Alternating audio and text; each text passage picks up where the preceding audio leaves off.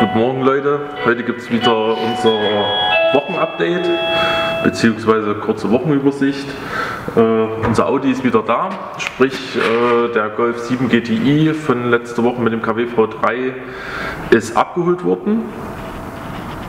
Kunde hat dann äh, zum Wochenende noch gebraucht, hat es Donnerstag Nachmittag bei uns abgeholt und ja, wie schon erwähnt, Fahrwerk soweit okay, aber Achsgeometrie und alles war jetzt nicht, nicht so prall. Ähm, ja, Kunde, naja, sage ich jetzt mal semi, ist ja jetzt im Endeffekt auch egal, Auto ist erstmal weg. Äh, wir haben dann Freitag, Samstag nochmal mit äh, Chris gesprochen und der Golf 7 wird auch eine Woche oder zwei Wochen nach Ostern nochmal zu uns kommen.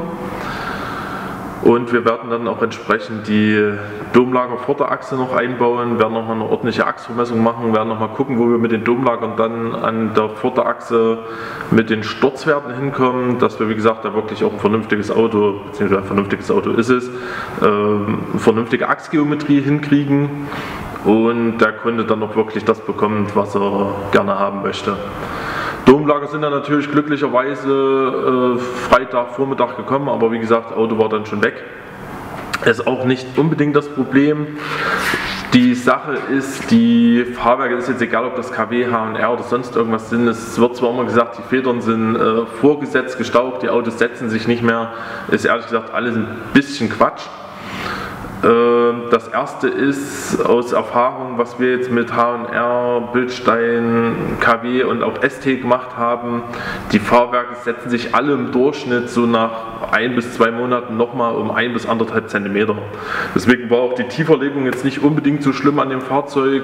Wird wie gesagt sowieso noch runtergehen. Das nächste ist nicht nur die Federn setzen sich, auch die, die Stoßdämpferkomponenten, sprich die ganzen Reibringe, die drin sind, arbeiten sich dann erstmal in das in das ähm, Gehäuse, wo sie drin arbeiten, ein. Dann gibt es so einen gewissen Arbeitsbereich, wo dann der, sage ich jetzt mal, 99 Prozent des Arbeitswegs der, der Stoßdämpfer sind, beziehungsweise der, der Ventile und Dichtung. Und das arbeitet sich, wie gesagt, auch noch ein und man merkt dann auch oft, haben wir auch bei unserem Auto gemerkt, werden wir jetzt auch bei unserem neuen v, V3 dann merken, äh, nach einer gewissen Zeit wird das, wird das Auto im Ganzen weicher, aber du hast auch den Vorteil, beziehungsweise wenn der Stoßdämpfer eingearbeitet ist, wird auch das Ansprechverhalten noch, noch mal feiner und graziler, weil dieses Losbrechmoment des Stoßdämpfers etwas geringer wird, äh, da, der, da dann alle Teile aufeinander eingearbeitet sind. Die Ventile arbeiten dann ordentlich, die, die Reib- und Dichtringe haben sich dann ein bisschen angepasst und dementsprechend haben wir jetzt mit Chris auch gesprochen. Er kommt wie gesagt in einem guten, guten Monat oder drei Wochen nochmal her. Dann ist das Fahrwerk halbwegs eingefahren, dann hat sich das Fahrwerk gesetzt. Den, den Zentimeter, den sich das Auto setzt, merken wir auch direkt an den Achswerten, also es stimmt dann auch Spur und so weiter und so fort nicht mehr hundertprozentig, wie wir das gerne haben möchten. Und ja, gucken wir uns an, gibt dann sowieso nochmal ein extra Video dazu. Ähm, egal. Schauen wir jetzt mal, wie gesagt, die Woche, unser A4 steht drin, gibt es auch gleich nochmal ein ordentliches Video drüber. Wir waren ja auch mit den Achswerten auf der Vorderachse nicht ganz zufrieden.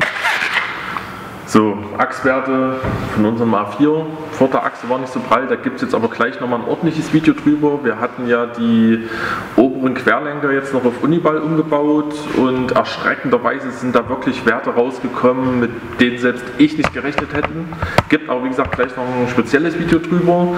Dann soll heute, hoffentlich, warte ich schon, freue ich mich drauf, äh, der neue Turbolader für unseren A4 kommen. Wir haben da ja, in den letzten Jahren ein bisschen rumprobiert. Wir haben jetzt auch ein kleines Problem mit unserem Turbo. Wie gesagt, andere Geschichte. Gibt es nachher noch ein Video. Dann kommen die Woche noch zwei A4 B8 zu uns. Der eine hat ein, Kupplungs-, ein kleines Kupplungsproblem mit wanderndem Druckpunkt in der Kupplung, obwohl eine neue Kupplung drin ist. Das müssen wir uns mal angucken. Haben jetzt andere Werkstätten nicht finden können, beziehungsweise ist ein bisschen kritisch. Werden wir sehen, ob wir da ein Video drüber machen. Schauen wir mal.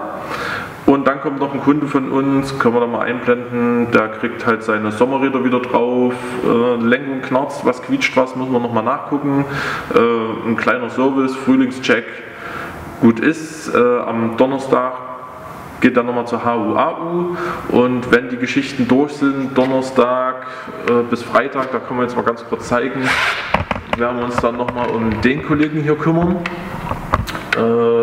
Den 46 M3 Kompressor gibt es definitiv auch nochmal was Schönes drüber zu sehen. Das sind wir momentan auch an ein paar, ja, speziellen Sachen ist übertrieben, aber es sind halt hier und da ein paar Sachen, die wir noch optimieren wollen.